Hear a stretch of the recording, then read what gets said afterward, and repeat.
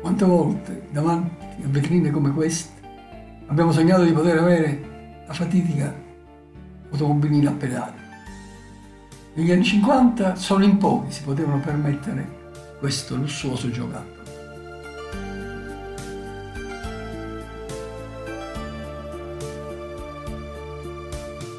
Noi si era strafelici se riuscivamo ad ottenere l'automobilina di latta. Ai miei tempi c'era la Giordani che produceva automobili. Era anche la più semplice dal punto di vista costruttivo e della presenza di accessori che era la popolare e poi alla eh, Gran Lusso. Eh, questa eh, auto popolare i, dovrebbe, è la più economica, eh, in origine era uh, monocolore mentre tutti gli altri modelli erano bicolori questa però è eh, sicuramente per la caratteristica costruttiva appunto l'auto popolare più economica attuale è un'auto sport russo che aveva una, una lamiera uh, fatta in una lamiera speciale e, e, e, diciamo già negli, all'inizio degli anni 50 del 50 stessa datazione anche il, il modello precedente che eh, se questa come dire si può eh, se questo primo si può considerare un, un giocattolo eh, di uso comune questo invece ha già una, una, un, un, intento di auto eh, sportiva. Il uso infatti eh, eh, richiama già le auto sportive e in particolare il, il, il musetto dell'Alfa Romeo. Diciamo, gli esperti del settore. 85 e eh, mentre tutte le altre macchine erano leggerissime poi era, questa è un'attenzione da parte di Giordani rispetto al fatto che fossero poi guidabili dai bambini, questa è un'auto molto pesante, ma è pesante perché poteva utilizzare un motore, una batteria, per cui ecco, non c'erano di questi problemi. Il, la batteria era a 12 volt e eh, faceva sì che la macchina potesse raggiungere una velocità anche di 8 km h e anche di superare eh, una certa qual dislivello, superava un oggetto molto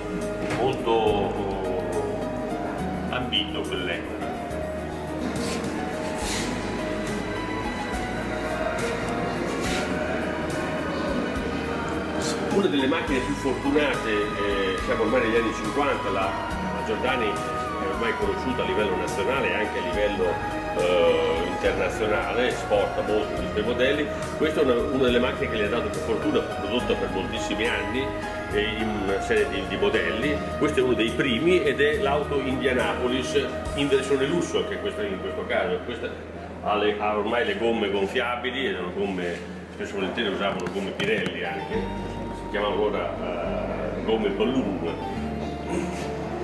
Dentro, eh, notate il colore, eh, eh, il rosso e il blu che sono i colori del Bologna eh, venivano usati sempre anche in maniera alternativa per l'esterno e per l'interno.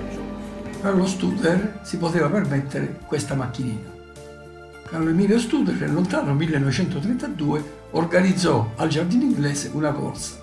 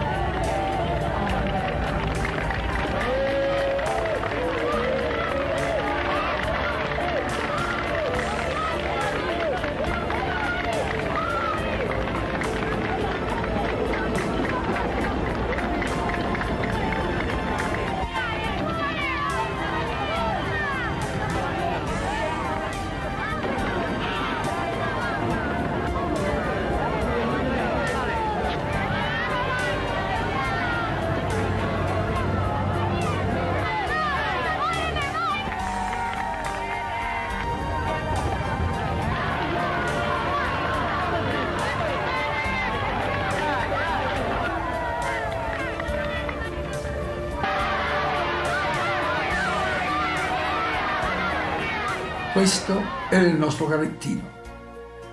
Sicuramente molto spartano rispetto a quelli di oggi. Bastava qualche legno, cucinetta a sferi, arrugginiti e il carrettino era pronto. Oggi questo giocattolo è molto più sofisticato.